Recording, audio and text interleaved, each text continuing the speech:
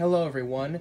Today we are going to be reviewing this Lionel 1989 rendition of the Reading T1 here on Brendan's Trains.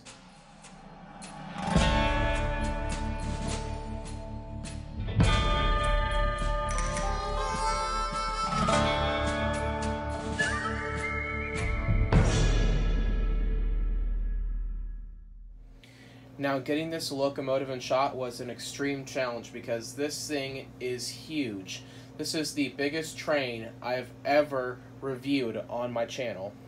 Now, if you don't know how big this locomotive is, this engine is 28 and a half inches long, which makes this the third biggest locomotive of my collection.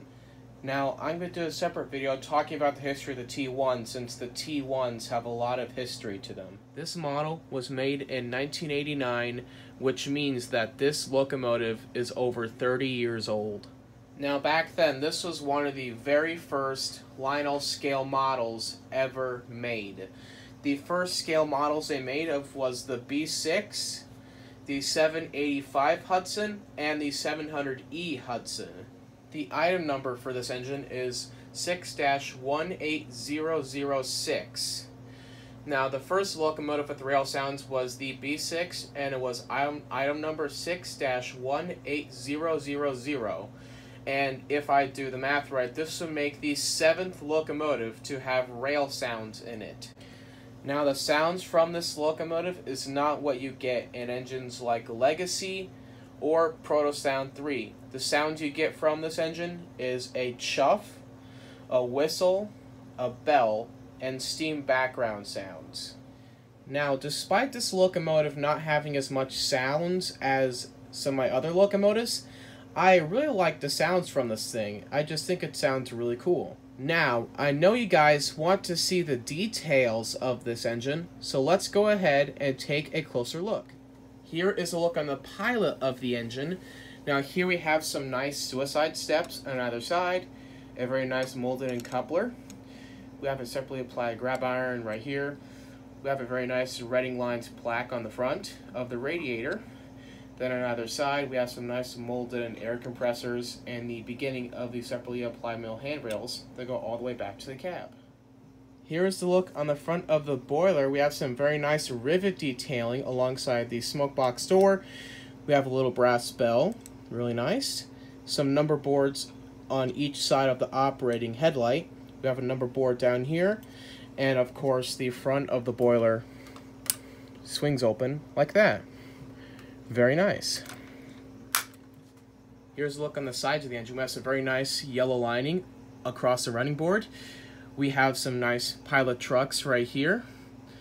Above it, we have a very nicely detailed full cylinder with some piping. And here's the beginning of the drive wheels and the drive rods, and all this stuff looks great when the engine is in motion. You'll see that in just a few minutes.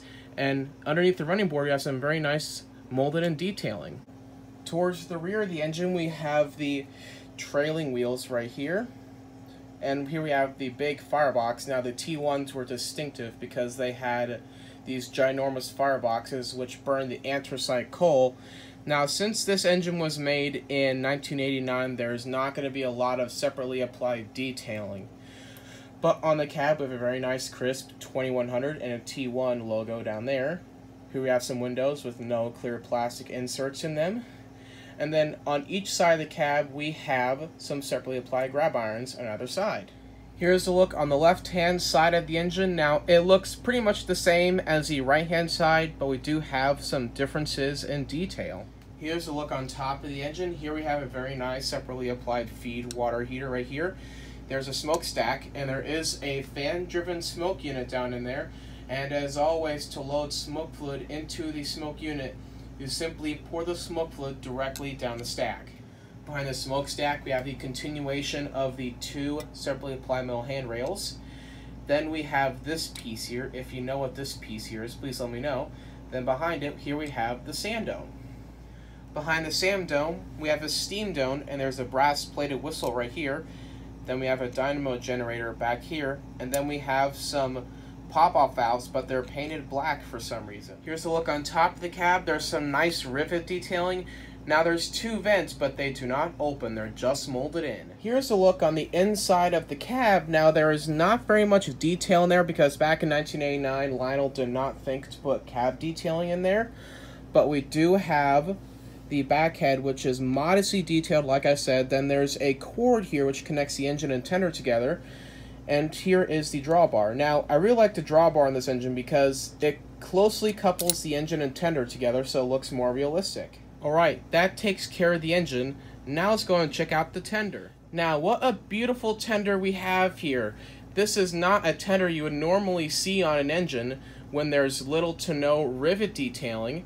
But one thing I must warn you is it's best to wear gloves when handling the tender, otherwise you will get fingerprints on there. But on the tender we have a very nice Reading logo on the side. We have some very nice truck detailing. Now there's no chains or anything on them. And on front of the tender we have some separately applied grab irons on either side. And here is the receiving socket for the engine and tender. And here's where the drawbar is, where you connect the engine and tender together. Here is a look on top of the tender. Here we have a coal load, but it's plastic, because back in 1989, Lionel did not think to do real coal loads back then. But here we have some separately applied grab irons alongside the tender. We have a water hatch that's molded in so it does not open. And as you can see, there is no rivet detailing on this tender, which is what I really like. Here's a look on back of the tender. We have a operational backup light right here.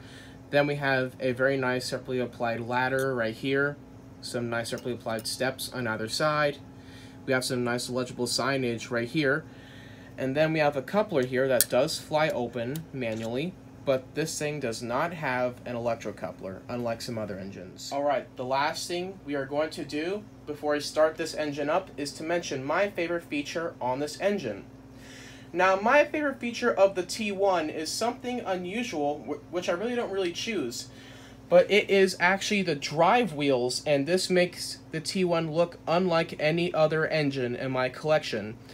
And I looked on all the other wheels of my engines, and I've never seen wheels of this design, so my favorite feature of this engine is the drive wheels.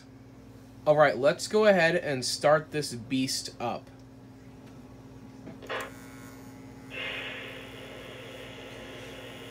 So you can hear the idle sounds. Here's the bell.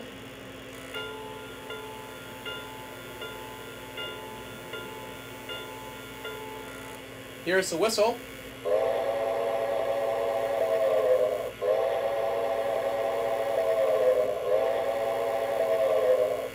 Let's go ahead and move her out.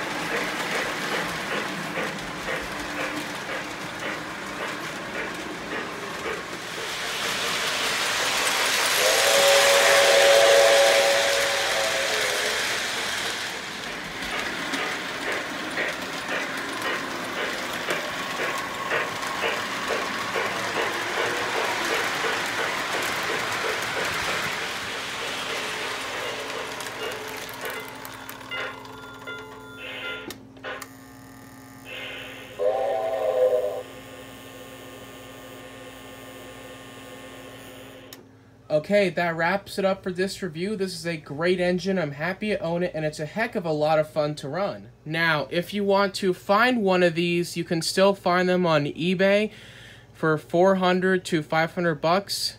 I picked up mine brand new from the train show for $450, which is not bad for this engine. Anyways, that's it for now. This is Brendan's Trains, signing off.